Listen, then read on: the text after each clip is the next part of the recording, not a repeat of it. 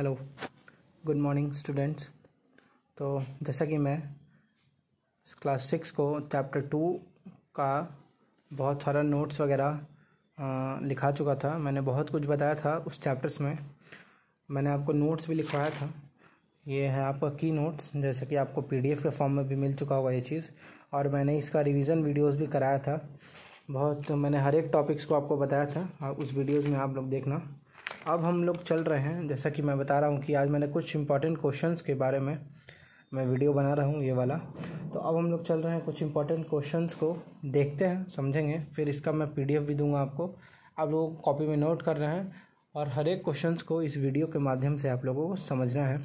तो चलते हैं। सबसे पहला क्वेश्चन है when is an electric current set to be closed मैंने आपको दो तरह का करेंट बताया था क्लोज्ड सर्किट और ओपन सर्किट तो कब हम किसी भी इलेक्ट्रिक करंट को बोलेंगे कि वो क्लोज्ड है? तो कब बोलेंगे? बताइए। तो वो जब भी बोलेंगे, तब वो बिल्कुल एग्जैक्टली करंट पास कर रहा होगा वहाँ से। ठीक है? यानी the electric current is set to be close when the current is pass through the circuit and appliances work properly अगर उस सर्किट में कोई भी अप्लायंस कनेक्ट है, और वो अप्लायंस अगर प्रॉपरली वर्क कर रहा है अगर वो अप्लायंस प्रॉपरली वर्क कर रहा है मतलब वो सर्किट क्लोज्ड है। क्योंकि सर्किट क्लोज रहेगा, तभी करंट पास करेगा अच्छा से, और जब करंट पास करेगा, तभी अप्लायंस वर्क करेगा प्रॉपरली तो यहाँ पे पहला क्वेश्चन का आंसर था the electric current is set to be close when the electric current is passed through the circuit and appliances work properly ठीक है? जब अप्लायंसेज प्रॉपरली वर्क करेगा तब हम बोलेंगे कि जो इलेक्ट्रिक सर्किट है मेरा, वो सर्किट क्या है? क्लोज्ड सर्किट है, यानी करंट उसमें से पूरा पूरी पास कर रहा है। सेकेंड क्वेश्चन पे चलते हैं हम लोग। Why can electric current not flow in an open circuit electric current open circuit में क्यों नहीं फ्लो करते हैं? The electricity can not flow in an open circuit because in an open circuit there is a part where the wire broken its path देखिए, सीधी सी बात मैंने बताया था। क्लोज्ड सर्किट में करंट पास करेगा ओपन सर्किट में करंट पास नहीं करेगा। ओपन सर्किट में करंट पास क्यों नहीं करेगा? उसके बहुत सारे कारण हो सकते हैं। या तो आपका जो वायर है कनेक्टिंग वायर वो बीच में से कहीं टूटा रहे। या फिर आपका जो स्विच है, वो स्विच ऑफ़ मोड में हो ऑन ना हो। यानी सर्किट को क्लोज नहीं कर सकता, वो ओपन है। मतलब करंट का कंप्लीट सर्किट से पास नहीं होना। करंट का कंप्लीट सर्किट से पास नहीं होना। इसी को हम लोग बोलते हैं क्या? ओपन सर्किट और यही कारण है कि ओपन सर्किट में इलेक्ट्रिक करंट जो है फ्लो नहीं करता है। क्या क्या नहीं करता है? ओपन सर्किट में क्या नहीं करता है? करंट फ्लो नहीं करता है। उसके बाद है क्वेश्चन तीसरा।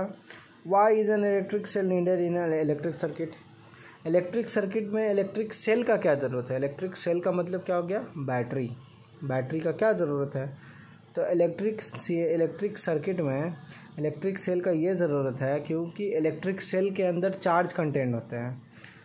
और वो चार्ज वायर के थ्रू सर्किट में पहुँचते हैं और सर्किट को कंप्लीट कराते हैं क्लोज कराते हैं।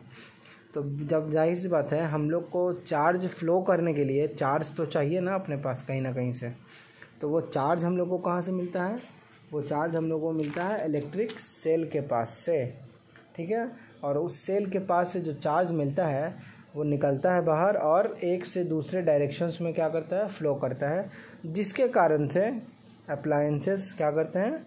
वर्क करते हैं। Clear what is the function of the switch in an electric circuit switch का फ़ंक्शन क्या है?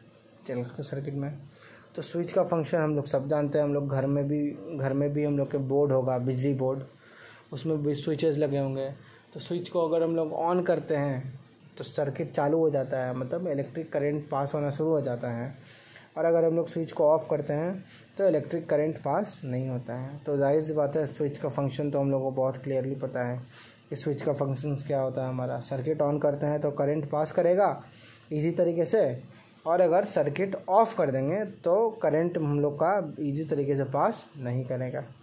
तो ये भी हम आई होप सो आप लोगों को समझ में आ गया होगा। मैं आपको एक फिगर दिख फिगर दिखा देता हूँ ओपन और क्लोज स्विच का।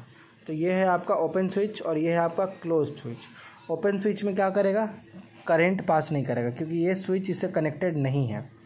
क्लोज स्विच में देखिए, ये स्विच इससे कनेक्टेड है। मतलब करंट यहाँ तक आएगा, फिर इसमें जाके ये पास करके फिर एक ट्रांसफॉर्मेशन बनाएगा। मतलब करंट क्या करेगा? इजीली वे में इजी तरीके से उससे क्या कर देगा? पास कर जाएगा ठीक है? तो मैंने अभी तक आपको चार क्वेश्चंस बताए। अब हम चलते हैं पाँचवें क्वेश्चन पे। How are chargeable cells different from dry cells बहुत ईजी है। चार्जेबल सेल्स ड्राई सेल से डिफरेंट है। कैसे? चार्जेबल सेल्स को हम लोग यूज़ करके दोबारा चार्ज कर सकते हैं। जैसे इन्वर्टर का बैटरी इन्वर्टर में भी बैटरी होता है बैटरी है तो सेल तो उस सेल को हम लोग चार्ज कर सकते हैं दोबारा, क्योंकि वो चार्जेबल है। बट कुछ कुछ ऐसे सेल्स हैं जिनको हम लोग दोबारा से चार्ज नहीं कर सकते। ठीक है ना? उनको हम लोग ड्राई सेल बोलते हैं। जिनको हम लोग दोबारा से चार्ज नहीं कर सकते, उनको हम लोग ड्राई सेल बोलते हैं। तो क्लियर क्या होता है चार्जेबल सेल क्या होता है ड्राई सेल अब बाकी के क्वेश्चन हम लोग, जो क्वेश्चन नंबर सिक्स है, वो हम लोग चलेंगे नेक्स्ट वीडियोस में देखेंगे और उस वीडियोस में और भी बहुत सारा कुछ देखेंगे हम लोग वीडियो के कंटेंट्स के अकॉर्डिंग थैंक यू